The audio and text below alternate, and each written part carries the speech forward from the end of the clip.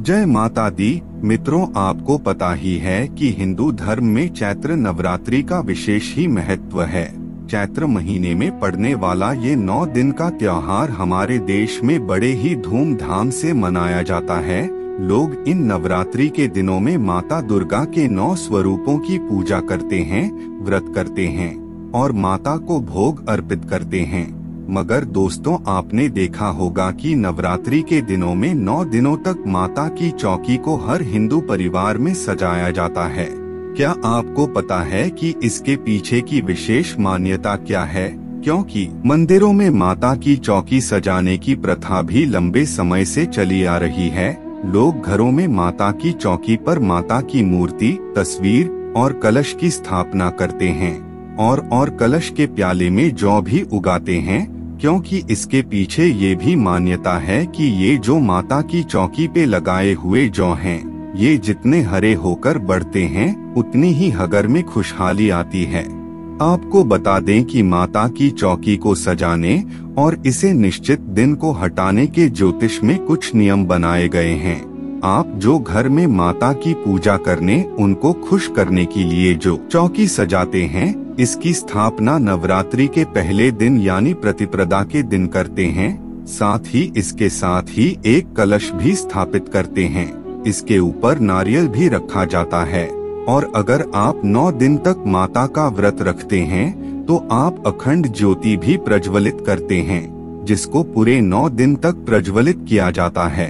इसके पीछे एक ये भी मान्यता है कि अगर आप अखंड दीपक प्रज्वलित करते हैं तो आपको घर को कभी अकेला नहीं छोड़ना चाहिए और नौ दिन तक सच्ची श्रद्धा से माता का पूजन करें, इससे माता अपने भक्तों से प्रसन्न होती हैं। कृपा दृष्टि उन पर बरसाती हैं। नवरात्रि की नौ दिन पूरे होने के बाद माता की चौकी को दसवीं के दिन हटाया जाता है मगर इसको हटाने की भी कुछ नियम हैं। नवरात्रि में कन्या पूजन के बाद सही तरीके से माता की चौकी हटाने के भी कुछ नियम हैं। और आपको बता दें कि कलश के ऊपर जो नारियल रखा जाता है और जो चावल कलश के नीचे लगाए जाते हैं, इनका सही तरह से प्रयोग होना चाहिए। मान्यता यह भी है, दोस्तों की कि दसवीं तिथि को ही आपको दुर्गा माता का विसर्जन किया जाना चाहिए। आपको बता दें कि नवरात्रि के नौ दिनों घर में बहुत ही अच्छा शुभ योग बनता है, और इन दिनों में घर में पूजा करने से खुशहाली आती है। और फिर नौ दिन तक माता की चौकी को घर में रखने के बाद, इसी वजह से माता की चौकी को दसवें दिन हटाया जाता है।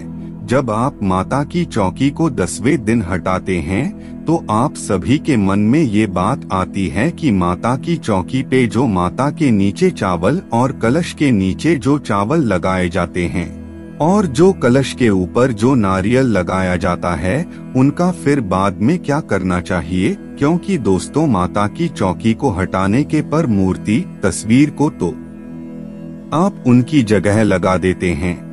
मगर चौकी के चावल और कलश का नारियल, इनका आखिर आपको क्या करना है? ये सवाल सभी के मन में बना रहता है। तो आपको बता दें कि आपको कलश के निभे रखे चावल और अन्य सामग्री को किसी नदी में बहते पानी में विसर्जित करना चाहिए। कलश में जो चावल रखे रखे होते हैं, उनको आप चाहें तो पक्षियों को खाने को डाल दें, और चाहें तो आप पीपल, आंवला, बरगद इनमें से किसी भी पेड़ के पास मिट्टी में चावल के दाने को दबा दें, और जो नारियल चौकी पर रखे कलश के साथ होता है।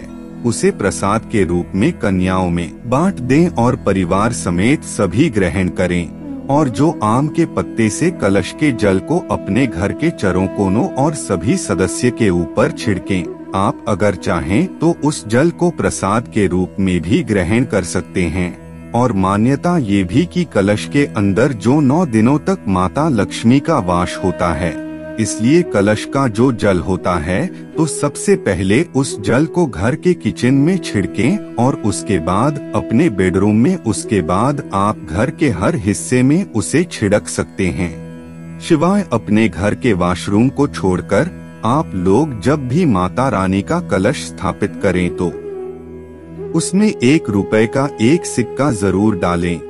और नौ दिन पूरे होने के बाद इस सिक्के को आप इस कलश से निकालकर अपने घर में, अपनी अलमारी में जिसमें आप अपना पैसा, जेवर रखते हैं, उसके अंदर रख दें। और जो कलश पे आप कलावा बांधते हैं, उस कलावे को खोलकर आप अपने हाथ पर बाँध लें, क्योंकि ये जो कलावा होता है, ये माता रानी का सिद्ध रक्षा कवच होता है, जो हर मुसीबत से आपकी रक्षा करता है।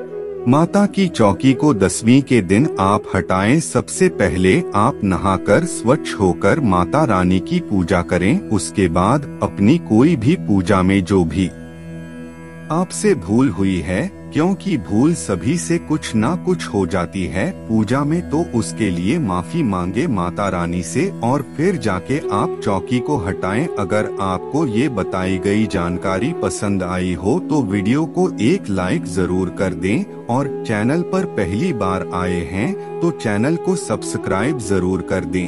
धन्यवाद, जय माता दी।